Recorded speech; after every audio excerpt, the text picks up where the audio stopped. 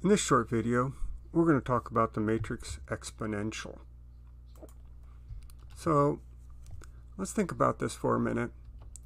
If you just have a single linear differential equation, say y prime equals ay, we know the solution has the form y equals c times e raised to the power of at. Now, it would be nice if for a system of differential equations, so we have capital X prime equals AX, we would expect a solution of the form x equals e to the power of at times some constant vector. So bear in mind that e raised to the power of at is actually a matrix. And I see that I probably want an arrow top of my x, indicating that it is a vector. So that sounds all good and well, but what is a sensible definition of e raised to the power of at? Well, let's think back to our Taylor series for just a, a regular scalar t. Um, so e to the at is just uh, 1 plus at plus quantity at squared over 2 factorial plus quantity at cubed over 3 factorial and so on. And so we could just replace the scalar a or the number a with the matrix a. And we'd have to replace the number 1 with the identity matrix, but otherwise the series would still be the same. So I would have i plus a times t plus a squared t squared over 2 factorial plus a cubed t cubed over 3 factorial and so on. In fact, we could write that in summation notation as sum k equals 0 to infinity, a to the power of k, t to the power of k over k factorial. So let's look at an example. This is a very simple example. Uh, normally, it's it's a challenge to calculate e to the power of at. But here we have what we call a diagonal matrix. Diagonal matrix means on the diagonal we have non-zero numbers, but everywhere off the diagonal we have zero numbers. In fact, with a diagonal matrix you could even have zeros on the diagonal. But everything that's not on the diagonal has to be zero.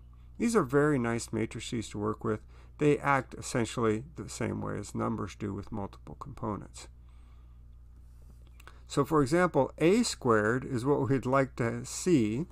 If you do the matrix-matrix multiplication, you're going to get 4 and 9. So in other words, all you have to do is square the diagonal entries. And then a cubed, again, if you do the matrix-matrix multiplication, uh, you're going to get on the diagonal 8 and 27, which is exactly 2 cubed and 3 cubed. So for this diagonal matrix, you get a very nice pattern. a to the power of k is 2 to the power of k on the diagonal and 3 to the power of k on the diagonal. And off diagonal, it's still 0. And so that means e to the a to t would be the uh, diagonal matrix and the 1, 1 is going to be the sum k equals 0 to infinity of 2t to the power of k over k factorial. And the 2, 2 diagonal is going to be the sum k equals 0 to infinity of the quantity 3t to the power of k over k factorial. And so that would just be e to the power of 2t in the 1, 1 diagonal and e to the power of 3t in the 2, 2 diagonal. And so I want to caution you that this is a very simple case because we have a diagonal matrix. That's the only reason why we have this nice pattern. In general, a to the power of k does not have any simple pattern that we can determine. So let's take a look at the derivative. So we have a formula here for the uh, function e to the at. So let's go ahead and take its derivative with respect to t. So we'll just take it term-wise. We've got a power series. And so the derivative of i, that's a constant, so that'll be 0. Derivative of at is just going to be a. The derivative of a squared t squared over 2 factorial, we'll use the power rule on t. Right? We're taking the derivative with respect to t. So that would be 2a squared t over 2 factorials. And the 2's divide out, so I'm just left with a squared t. When t cubed, I'll take uh, use the power rule. So 3 times a cubed times t squared over 3 factorial. So the 3 will divide out. I'll be left with 2 factorial in the denominator and a cubed t squared. And let's just look at one more term to make sure we can see the pattern.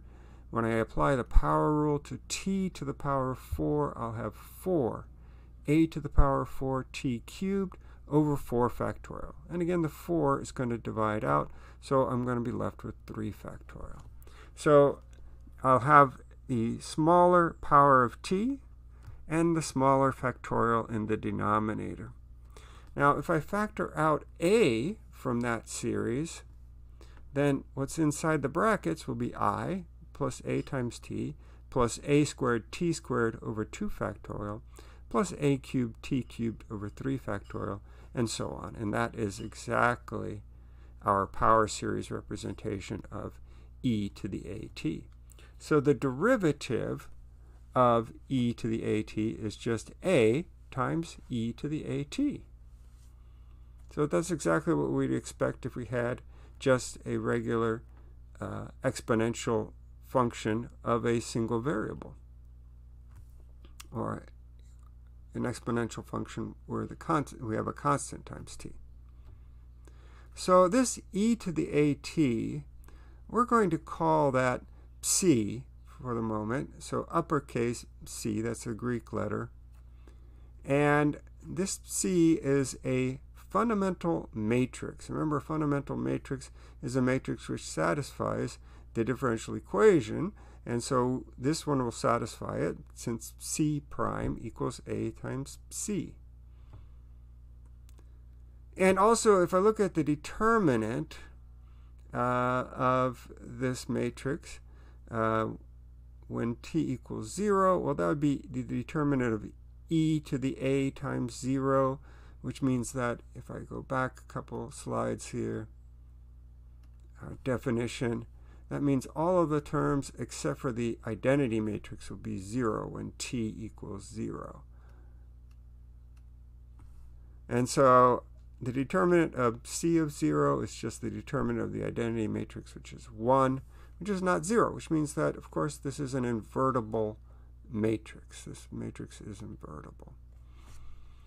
All right, so uh, again, calculating in general, uh, without using technology, calculating the matrix exponential is challenging. But at least for small matrices, we can use Laplace transforms. So uh, we're going to say x of t, and I didn't put an arrow on this uppercase x because this is a matrix. It's not just a vector. It's a matrix.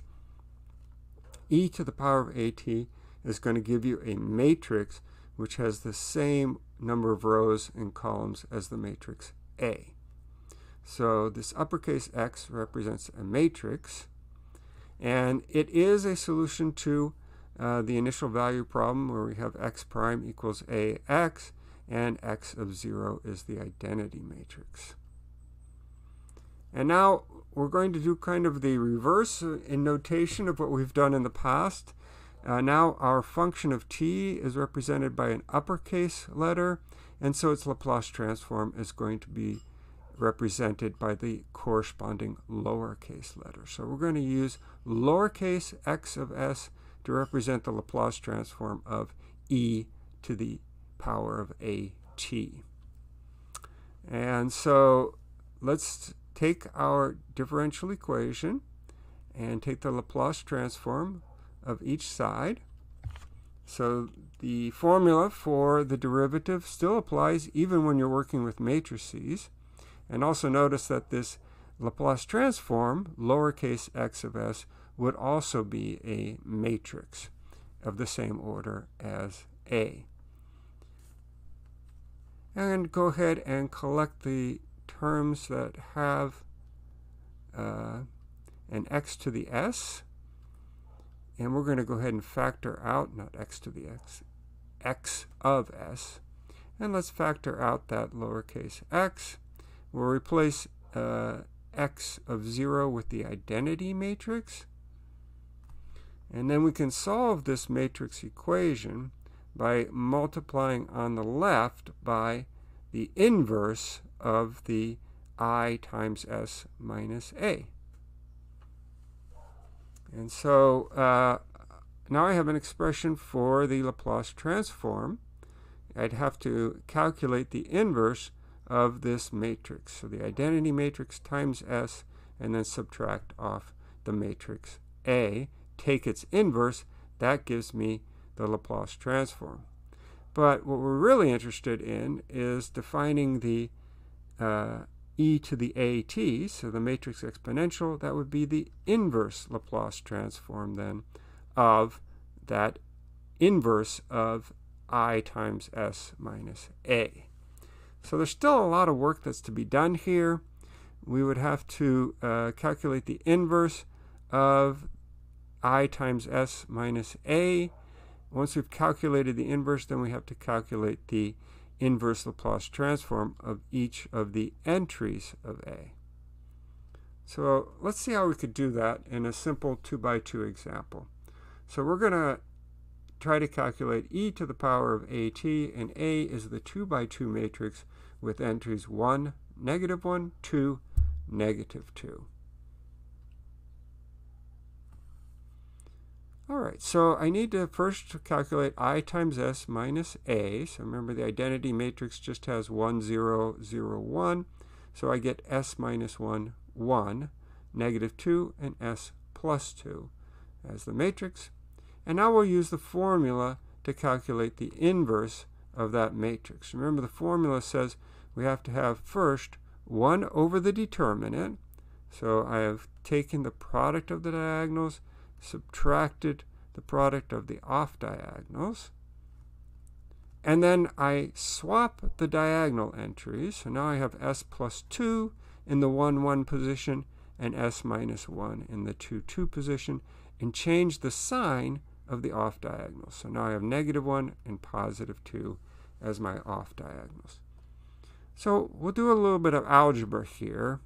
Uh, after using FOIL, I can see that the negative 2 and the positive 2 will add to make 0.